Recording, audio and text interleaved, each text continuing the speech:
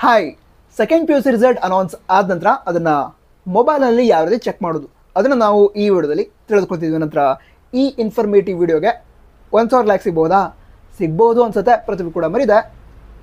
ಸರಿ, ಈಗ ವಿಷಯವನ್ನು ತಿಳಿದುಕೊಳ್ತಾ ಹೋಗೋದಾದರೆ, ಮೊದಲನೇದಾಗಿ ನಮ್ಮ ಶಿಕ್ಷಣ ಇಲಾಖೆಯವರು ರಿಸಲ್ಟನ್ನು ಪ್ರಕಟಿಸುವಂತಹ ವೆಬ್ಸೈಟ್ ಏನಿದೆ?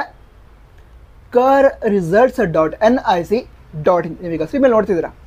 ಆ ವೆಬ್ಸೈಟ್ ಏನಿದೆ, ಅದನ್ನು ನಿಮ್ಮ ಮೊಬೈಲ್ನ ಬ್ರೌಸರಲ್ಲಿ ಟೈಪ್ ಮಾಡಿ ಸರ್ಚ್ ಮಾಡಿ. ಸರ್ಚ್ ಮಾಡಿದ ನಂತರ ನೀವೀಗ ನೋಡ್ತಾ ಇದ್ದೀರಾ, ಈ ರೀತಿ ಪೇಜ್ ಓಪನ್ ಆಗುತ್ತೆ. ಇಲ್ಲಿ ನೀವೀಗ ಕರ್ನಾಟಕ ಶಾಲಾ ಪರೀಕ್ಷೆ ಮತ್ತು ಮೌಲ್ಯ ನಿರ್ಣಯ ಮಂಡಳಿ ಅಂತ ಹೆಸರು ತೋರಿಸ್ತಾ ಇದೆ. ಅದರ ನಂತರ ದ್ವಿತೀಯ ಪಿ ಯು ಸಿ ಪೂರಕ ಪರೀಕ್ಷೆ ಎರಡು ಅಂತಿದೆ ಅಂದರೆ ಹಿಂದಿನ ವರ್ಷದ ರಿಸಲ್ಟ್ಗೋಸ್ಕರ ಲಿಂಕನ್ನು ಕೊಟ್ಟಿದ್ದಾರೆ. ಈಗ ಎರಡು ಸಾವಿರದ ಇಪ್ಪತ್ನಾಲ್ಕರ ರಿಸಲ್ಟ್ ಏನಿದೆ, ಅದು ಇಂದು ಏಪ್ರಿಲ್ ಹತ್ತು ಎರಡು ಸಾವಿರದ ಇಪ್ಪತ್ನಾಲ್ಕಕ್ಕೆ ಅನೌನ್ಸ್ ಆಗ್ತಾ ಇದೆ. ಮುಂಜಾನೆ ಹತ್ತು ಗಂಟೆಗೆ.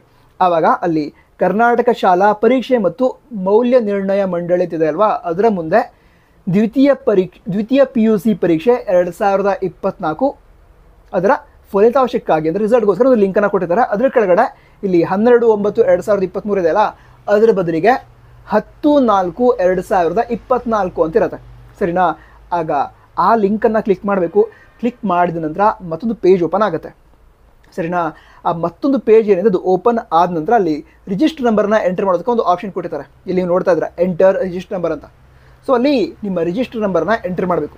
ಅದ್ರ ಕೆಳಗಡೆ ಸೆಲೆಕ್ಟ್ ಕಾಂಬಿನೇಷನ್ ಅಂತ ಇದೆ ಸರಿನಾ? ಅಲ್ಲಿ ಸೈನ್ಸ್ ಆರ್ಟ್ಸ್ ಕಾಮರ್ಸ್ ಅಂತ ಇದೆ.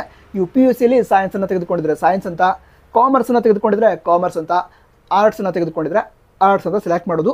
ಅದರ ನಂತರ ಸಬ್ಮಿಟ್ ಅಂತ ಕೊಟ್ಟರೆ ನೀವು ನಿಮ್ಮ ರಿಸಲ್ಟನ್ನು ಚೆಕ್ ಮಾಡಬಹುದು ಕೆಲವೊಮ್ಮೆ ಏನಾಗುತ್ತೆ ಅಂತ ಹೇಳಿದ್ರೆ ಅಲ್ಲಿ ಸೆಲೆಕ್ಟ್ ಸಬ್ಜೆಕ್ಟ್ ಅಂತ ಇದೆ ಅಲ್ವಾ? ಅದರ ಬದಲಿಗೆ ಡೇಟ್ ಆಫ್ ಬರ್ತನ್ನು ಕೇಳಿರ್ತಾರೆ. ನಿಮ್ಮ ಡೇಟ್ ಆಫ್ ಬರ್ತನ್ನು ಎಂಟರ್ ಮಾಡಿ ಸಬ್ಮಿಟ್ ಅಂತ ಕೊಟ್ಟರೆ ರಿಸಲ್ಟನ್ನು ಚೆಕ್ ಮಾಡಬಹುದು.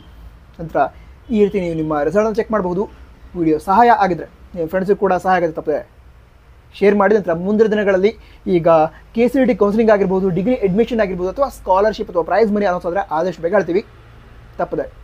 ಸಬ್ಸ್ಕ್ರೈಬ್ ಮಾಡಿದ ನಂತರ ರಿಸಲ್ಟ್ಗೋಸ್ಕರ ಮತ್ತೊಮ್ಮೆ all the best Jai Hind. ಒಂದು ಮಾತರಂ.